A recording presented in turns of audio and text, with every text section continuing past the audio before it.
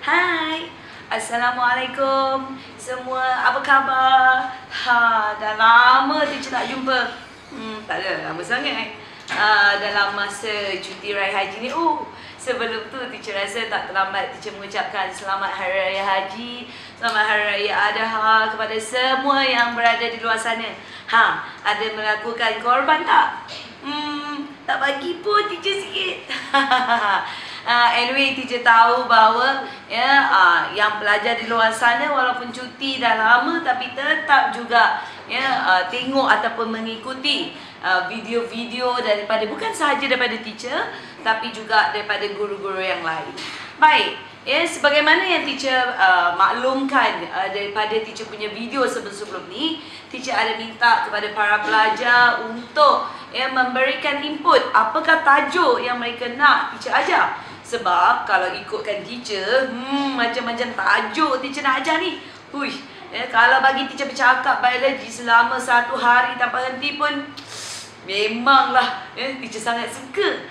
Uh, jadi untuk orang kata apa, uh, uh, bersesuaian dengan masa yang diberi, ya, maka teacher minta je sebaik kepada semua pelajar untuk memberikan maklum malas apakah tajuk-tajuk yang ingin mereka uh, teacher ajar yang nak uh, diajar oleh teacher. Ha. Dan alhamdulillah ya uh, kita ada mewujudkan ya grup WhatsApp ya kepada pelajar-pelajar yang begitu setia mengikuti semua video-video daripada kita yang di mana daripada situ kita dapat banyak feedback bukan sahaja berkenaan ya soalan ya bukan sahaja berkenaan apa tajuk yang mereka nak. Ya malah kita juga ada perbincangan. Ha macam itulah yang teacher nak. Ha, jangan lupa ajak lagi ajak lagi ramai kawan-kawan. Ha benda baik perlu diwar-warkan Okey, jadi pada kali ini ya teacher akan membuat video uh, berkenaan salah satu daripada permintaan pelajar teacher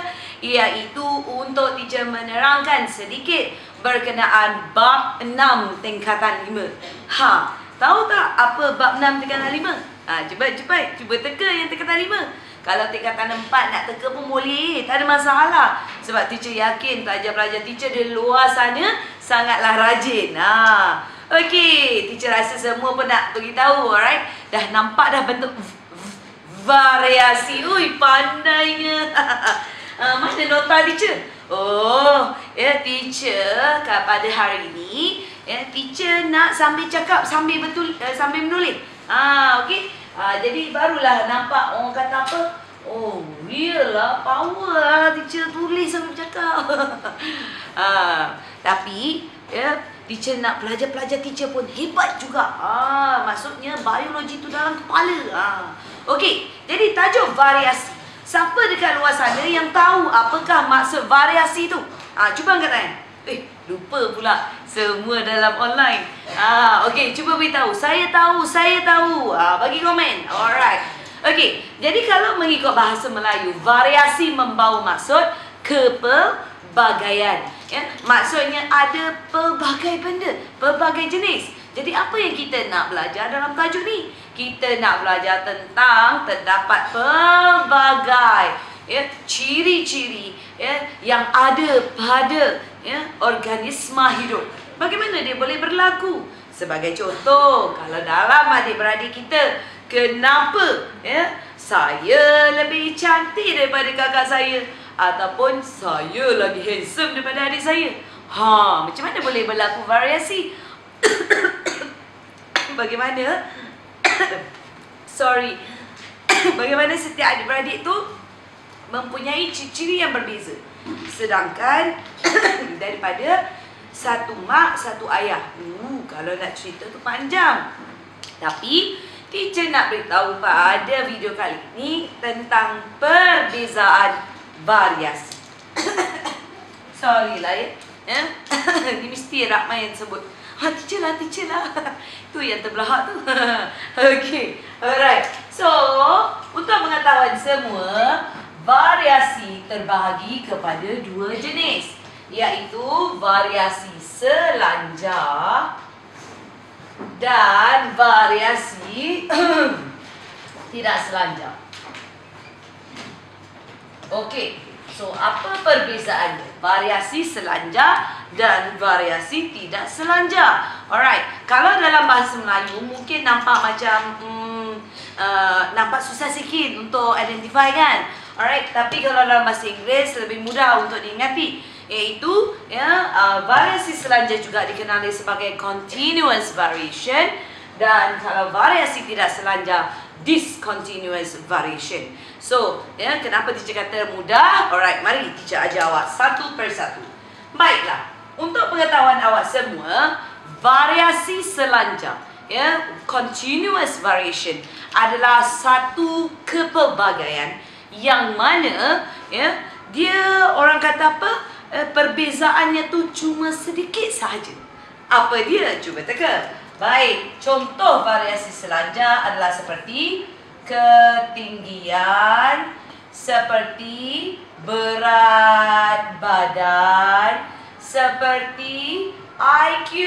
Oh, ya, maksudnya orang kata apa? Dia boleh apa? Ah, variasi selanjar adalah kepelbagaian yang boleh diukur. Ha, kalau boleh diukur, apa? Dipanggil sebagai variasi kuantitatif.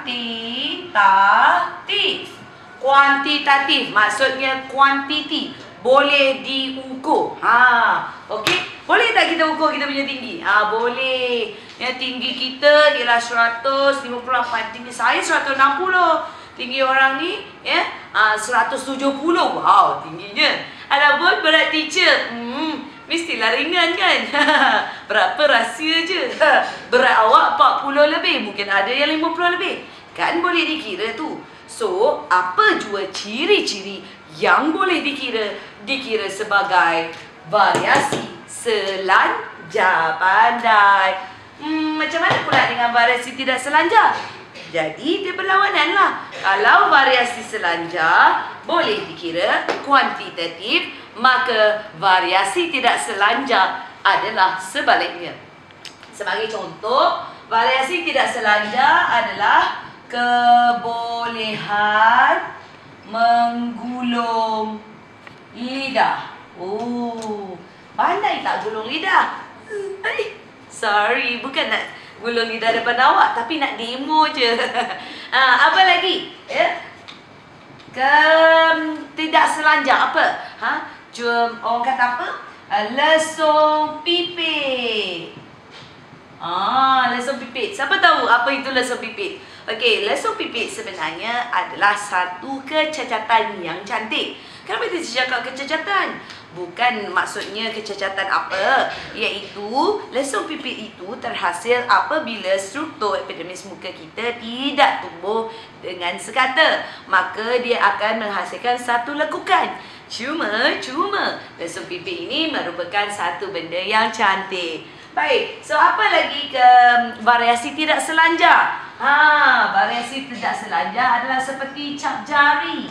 Okey, lagi apa lagi? Variasi tidak selanjar adalah seperti bentuk cuping telinga. Okey, bentuk cuping telinga sama ada bentuk yang melekat ataupun bentuk yang tidak melekat. So, semua ini, ciri-ciri ini dipanggil sebagai variasi tidak selanjar. Yang di mana variasi tidak selanjar merupakan ciri kualitatif. Ha, kalau selanjar kuantitatif, jadi kalau tidak selanjar kualitatif pandai. Alright. Ya, jadi ya dia mesti ada kalau katakan orang kata nak gambarkan melalui graf. Ha, jadi awak kena tahu apakah bentuk graf bagi kedua-dua variasi ini. Okey, kalau variasi selanjar, graf dia macam mana? Graf variasi selanjar adalah taburan normal. Alright? Okey, so kita tengok. Oh, macam ni. Okey, macam ni. Alright, lebih kurang lah ya. Okey. Ini adalah ketinggian. Okey, ini adalah bilangan. Alright, ya. Jadi ini adalah sebagai contohnya berapa? Uh, 100. Eh, dia kena rapat-rapat. Sorry ya. Dia kena lukis balik semula. Okey, dia bersambungan. Ha, macam ni. Okey. Lebih kurang more or less lukisan dia. Okey. Ha. Jadi, dia punya ni ialah taburan normal graf dia. Alright. Naik, lepas tu turun. Okey, jadi eh, kalau awak tengok variasi selanjar adalah satu variasi yang mana ciri perbezaan dia adalah sangat sedikit. Ya. Um, apa maksud ciri perbezaan sangat sedikit? Sebagai contoh, alright. Kalau kita berdiri di tengah-tengah orang ramai, okey? Apa yang kita perhatikan ialah ya, ui, nampak macam lebih kurang sama je, semua orang pun tinggi. Cuma kita hanya akan tahu perbezaan tinggi kita dengan orang A, dengan orang B, dengan orang C hanya apabila kita melakukan kuantitatif. So itu adalah orang kata apa? Ya, perbezaan ataupun ya variasi selanjar. Sama juga macam berat badan. Bila kita duduk ramai-ramai kan, alright, kita tahu semua orang mempunyai berat badan. Alright, tapi kita hanya akan tahu bahawa berat badan kita berbeza. Maksudnya terdapatnya variasi, terdapatnya perbezaan hanya apabila kita mengira. Ha, sebab itulah variasi selanjar dipanggil sebagai ya variasi kuantitatif boleh dikira. Tapi berbeza dengan variasi tidak selanjar, variasi tidak selanjar ya dia memang ciri dia khas. Kerana apa? Dia hanya dikawal oleh satu jin saja. Alright? Ah, ha, sebagai contoh, alright, lesung pipit. Dia ada dua je. Sama ada ada lesung pipit ataupun tiada lesung pipit. Ah, sebab dia adalah perbezaan kualitatif. Ah, cuba bagi contoh apa lagi tidak selanjar? Ah, tahu tak? Jenis darah. Okey, ha jenis darah. Kan kita ada jenis darah A, B, AB, O, ha. Okey, itu semua berbeza, alright? So, Ini adalah uh, kebolehan menggulung lidah contohnya. Ya, kita tukar. Alright. Boleh. Tidak boleh sebagai contoh. Ha. Okey, ini jumlah individu.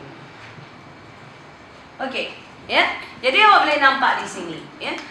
Yang mana boleh diubah? Boleh tak kita ubah um, hari ni saya nak darah O. Uh, waktu saya tua saya nak darah AB lah sebab semua orang boleh derma darah kat saya. Boleh tak? Mana boleh? Kita tak boleh tukar betul? Alright. So. Yeah, kenapa variasi tidak selanjang tidak boleh ditukar? Ha, sebab variasi selanjang eh sorry variasi tidak selanjar dikawal oleh faktor genetik. Ah, faktor genetik ialah DNA. Macam mana awak nak tukar DNA awak? Ah, tak boleh. Okey, kalau awak tukar DNA awak, maka akan berlakunya ah, orang kata apa? penyakit-penyakit. Okey? Ah, kalau variasi selanjar, variasi selanjar perbezaan ya. Uh, kuantitatif ini ya dikawal oleh faktor genetik dan persekitaran. Ha, okey, sebagai contoh, faktor genetik ialah ya dalam keluarga kita kita memang dilahirkan ya mempunyai tulang yang uh, kuat dan meninggi, alright? Tapi ya kalau variasi selanjar, ya, dia turut dipengaruhi oleh faktor persekitaran. So, faktor persekitaran adalah seperti apa? Seperti cara pemakanan kita. So, kita memang ada baka yang mana tulang kita boleh untuk tumbuh dengan tinggi. Tapi, bila faktor persekitaran seperti kita kurang minum susu, kurang mendapatkan uh, orang kata kalsium, ya, ini menjadikan tulang kita tidak bertumbuh dengan pesat dan mempengaruhi awak punya ketinggian. Ha. So sebab itulah variasi selanjar dikawal oleh faktor persekitaran dan juga genetik. Sebagai contoh juga, okey. Ya, apabila kita dilahirkan, alright, kita dilahirkan dalam keluarga yang mempunyai IQ yang tinggi. Eh, pandai, hebat, kebolehan mengingat sangat tinggi. Tapi faktor persekitaran adalah seperti uh, pemakanan. Contohnya kita makan benda-benda yang boleh ya, membuatkan kita punya memori tu lambat. Ataupun ya, katakan kita malas belajar. Itu adalah faktor persekitaran. Ya, maka itu akan mengubah ya, kita punya tahap IQ. Ha, boleh faham tak? Oi, senang je kan? Ha, jadi di sini ingin teacher tegaskan bahawa alright, variasi inilah ya yang mana membuatkan setiap manusia itu berbeza. Okey, jadi ya, awak kena ingat jenis variasi terbagi kepada dua, iaitu variasi selanjar dan juga variasi tidak selanjar. Variasi selanjar adalah variasi kualitatif, ya ke? Salah. Kuantitatif, ingat kuantiti. Kuantitatif boleh diukur, manakala variasi tidak selanjar adalah kualitatif pandai. Okey, teacher rasa ya cukup setakat ini teacher terangkan tentang jenis variasi. Nanti kita akan ke episod seterusnya untuk menerangkan bagaimana variasi ini boleh berlaku. Ha, jangan lupa ikuti episod seterusnya nanti. Sekian, Assalamualaikum dan